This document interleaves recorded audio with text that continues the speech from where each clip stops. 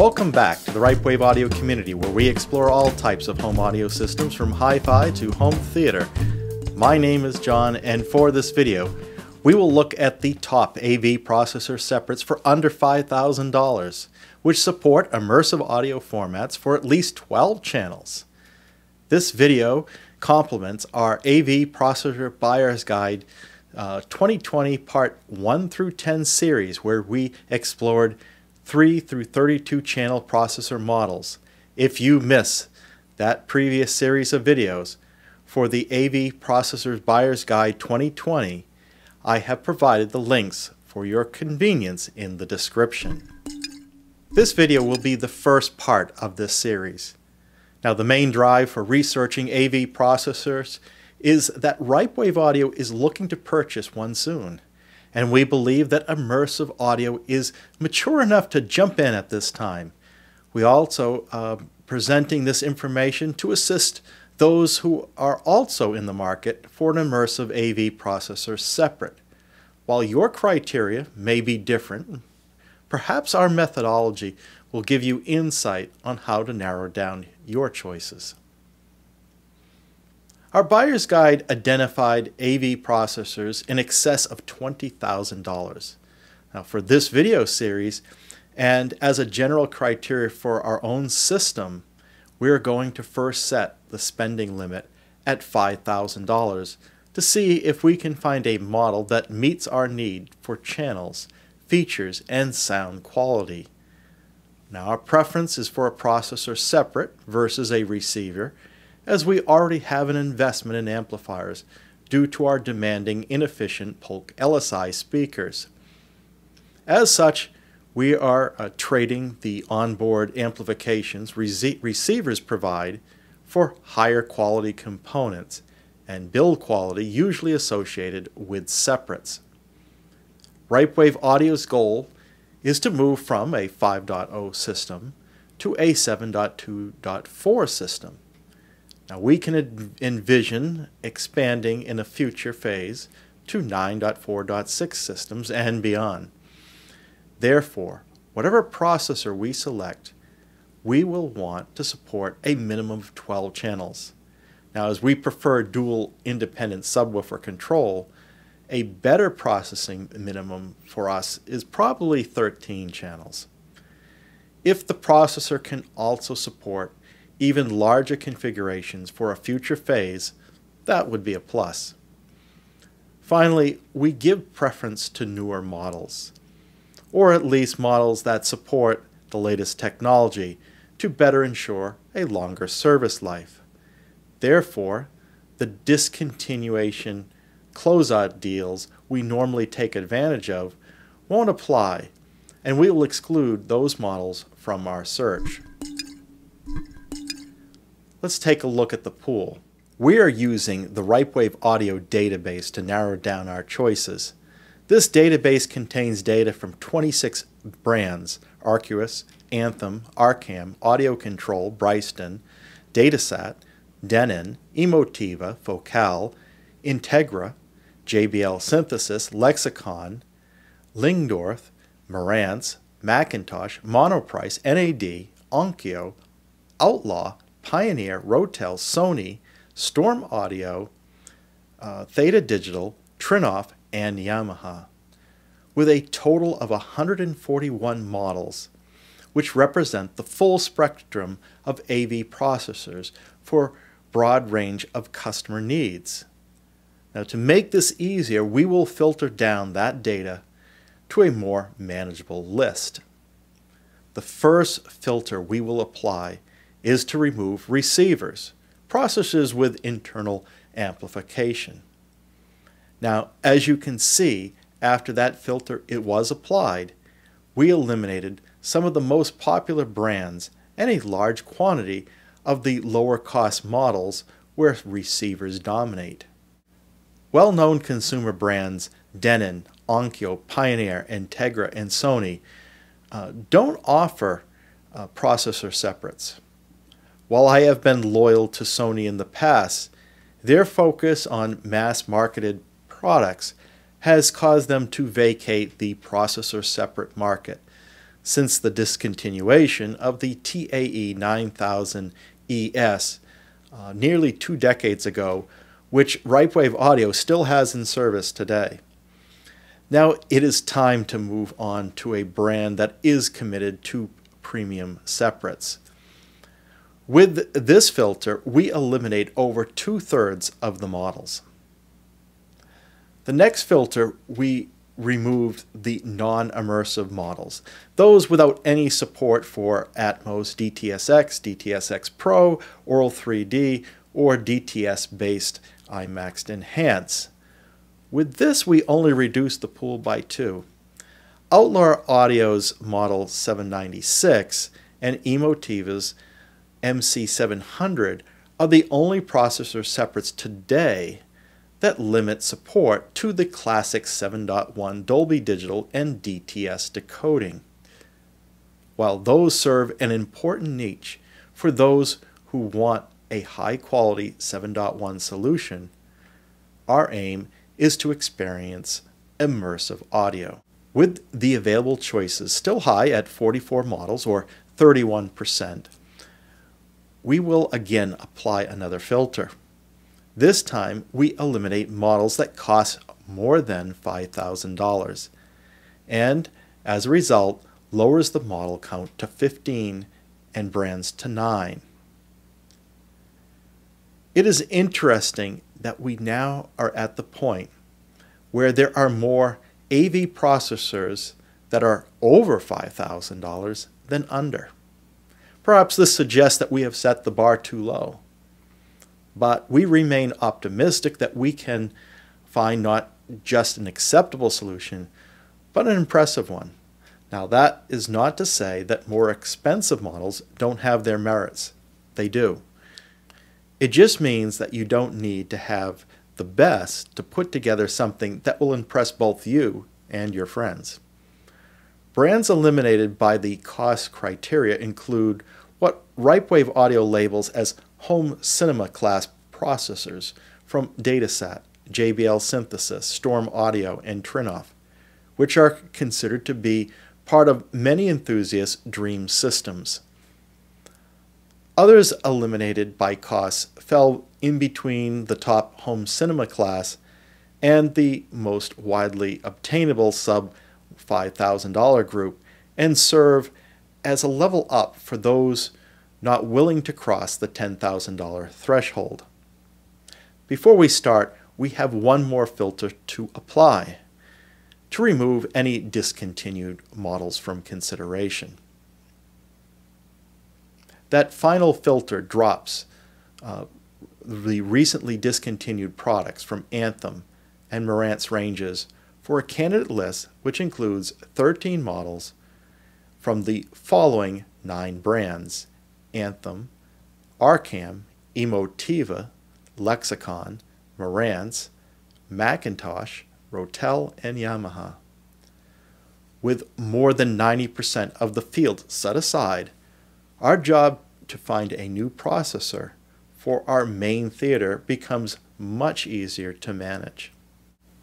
Of course, if we find we need something more than what is on this list, we may need to raise the spending limit up a few thousand dollars, but we're not ready to concede at this point.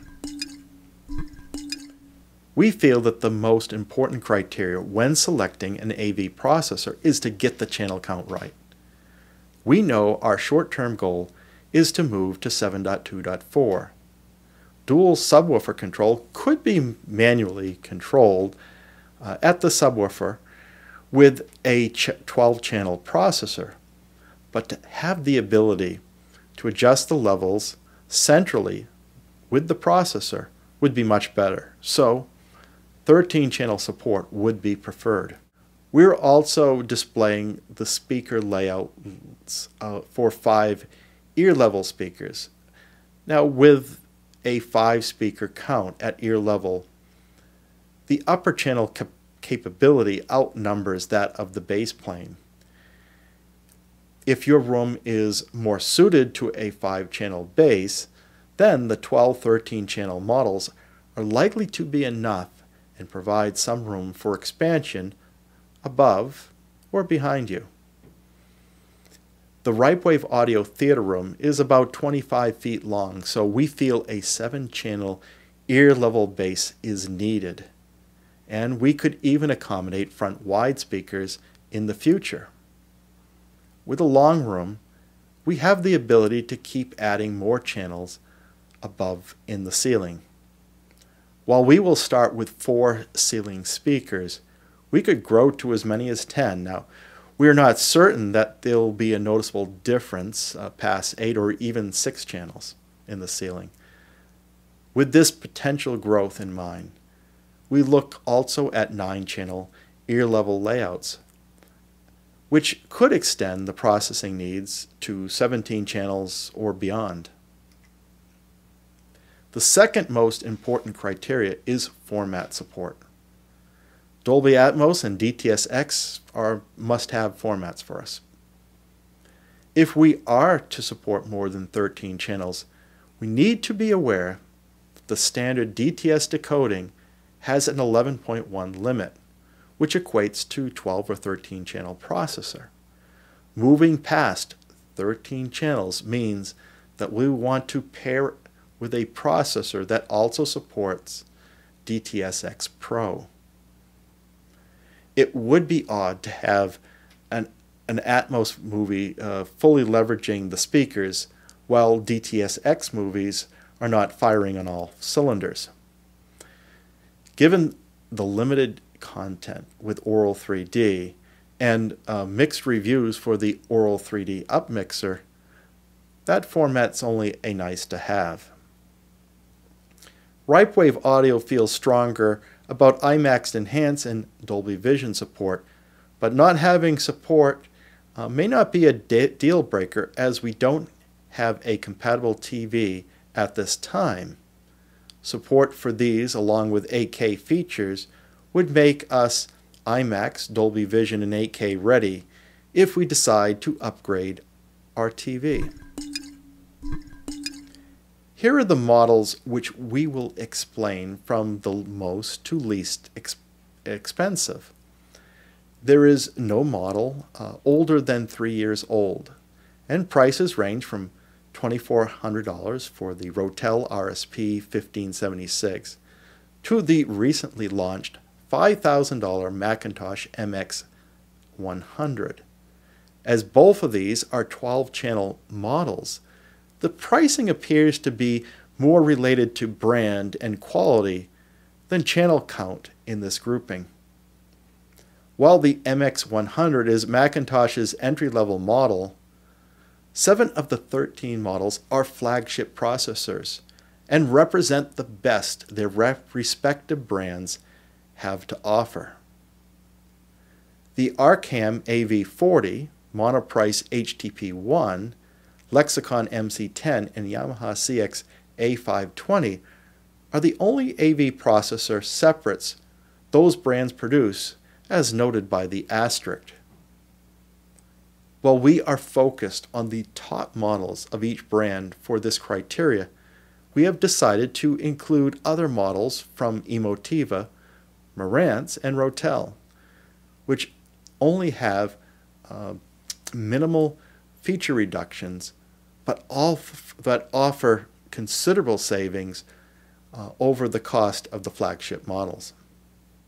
As Emotiva has yet to release expansion modules for the RMC1, the RMC1L and XMC1 models, which cannot be expanded, look attractive as you save $1,000 and 2,000 respectively. The XMC one is only fully differential for the front three channels, whereas the RMC models maintain fully differential capability across all channels. The Marantz AV7706 is two years newer than the Marantz AV8805, has support for 8K, and if you're willing to drop two channels from 15 to 13, saves you $2,000. Rotel continues to offer the non-Mark II variation of their flagship, which was released last year, for those who don't require Dirac uh, for $1,100 less. The Anthem AVM 70 was announced in 2020, so we list it as such, but the current shipping date is for January of this year. Their flagship, the AVM 90, doesn't meet the cost criteria with its $7,000 list price with upgraded circuitry and two additional channels. Monoprice is the newcomer to the AV processor market with its 2020 release, the HTP-1, and is positioned as a challenger to Emotiva as a high-value, high-quality supplier. At this point, let's jump into the feature comparison matrix. First, let's point out what all models have in common. No models are THX certified. While THX sustains certification for speakers and amplifiers, its support within AV processors is very close to disappearing altogether as they have not made any moves to position THX for the immersive experience. The great thing is that all models support the two formats we must have, Dolby Atmos and DTS:X. We have indicated in the matrix that 12 and 13 channel models are not applicable for DTS:X Pro support, but 16 channel models from Emotiva, Arcam, and Monoprice have yet to announce support for DTS:X Pro. The best you will hear for these models is that support is planned, and for Emotiva it has been a long time coming. Auro-3D, which is low on our list, is supported only by Arcam, Marantz, and Monoprice. IMAX Enhanced and Dolby Vision support is spotty. The Marantz models are the only ones that can claim to check all these format boxes. The others can conceivably catch up with firmware releases as added support typically is not hardware dependent. And this is what makes it a little challenging to keep our database up to date because manufacturers can add support through firmware and they don't always update their website or their specification sheets. Uh, in a way, they're, they're um, really underselling themselves uh, in some cases. So we have to do some investigation to really find out what these units support. So what we're at least showing here is the worst case scenario. All models have some form of room calibration. Now we're using the term calibration versus correction as there is some debate as to whether um, manufacturers should claim that they're correcting the room. Nevertheless, they all check this box. Emotiva, Arcam, Monoprice, Rotel, and Lexicon all lever leverage the most popular room correct calibration software, Dirac Live. Arcam and Monoprice uh, note on their website that the Dirac Live Bass Control add-on is supported for a fee. As the Dirac website lists sp specific models that support the Bass Control add-on, we assume that is not compatible with all Dirac Live implementations. ARC Genesis has also been popular with reviewers, uh, and there doesn't seem to be a clear winner between Dirac and ARC Genesis. While Audyssey has not enjoyed the same level of support from reviewers as Dirac and Anthem ARC, Audyssey is the technology which IMAX uses to calibrate commercial theaters and is used by McIntosh's models up to $8,000, which suggests that Audyssey is also a very viable solution. Of the group, Yamaha's YPAO calibration receives the least amount of press and is thought to be a lower tier solution. In this table, we have noted other models within each brand that are available. In most cases, uh, the same features are supported except those identified. The most notable is the Rotel RSP 1576, that doesn't have the Dirac Live support that the Mark II version has. RipeWave Audio will continue this review in part 2 by touching upon the finer details and will make its final recommendations then.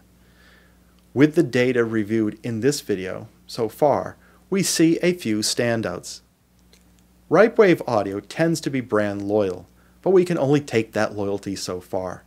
We have had our sights on the Emotiva range for the last five years, that is before release and since release. We're using the Emotiva XPA1 Gen 2 monoblocks for the front stage, which are fully differential. And we are attracted by the air processors, which also have this capability, albeit the XMC1 only provides the front three channels that uh, as fully differential. Dirac Live support was added to the Emotiva processors last summer after a long wait. And now we're waiting for DTS X Pro support, but with no target date announced. With the announcement of the Anthem AVM 70, that does have DTS X Pro support and 17 channels of processing versus 16, we can envision that model in place of the Emotiva being priced between the RMC-1L and the XMC-1. The monoprice HTP-1 may be a strong 16-channel candidate, but it falls short, short on the cosmetics, and we don't feel it is a good aesthetic match for our theater. The Arcam AV40 has um, very similar features to the HTP-1, but has suitable cosmetics. The offerings from Rotel, Lexicon, and Yamaha are on the low end of the channel count and don't stand out with feature support, aside from Lexicon that supports both IMAX Enhance and Dolby Vision. McIntosh is likely to have a stronger story in Part 2 when we look at the finer details. If you're a fan of their classic styling and reputation, then you may already be sold. While we typically don't gravitate to Marantz for their styling, their comprehensive support for formats makes Marantz's uh, AV8805 and AV7706 worth considering. While the AV7706 also comes in at the low end of the channel count, it at least has dual independent subwoofer control. It is a 2020 model and sells for $2,499, which is only beat in price by the Rotel RSP 1576. At that price point, we may be able to justify the AV7706 uh, because it addresses our immediate needs and then replace it later if we need to expand in the future. If we were to decide just based on the details provided in this first part of the series, we would select the Anthem AVM 70 as the best balance option for price, features, and cosmetics, and the Marantz AV7706 as the best budget conscious model with all formats supported. If you're in the market for an AV processor, what criteria are you using? Please include in the comments section. Should we purchase for just our immediate needs or plan for future expansion? That feedback would be useful to the RipeWave audio community. Furthermore, if you enjoyed this video and are interested in enhancing your audio experience, please like and subscribe to this RipeWave audio community and be sure to select the bell icon so you'll be notified as soon as the next video is posted. Until then, keep evolving your audio experience.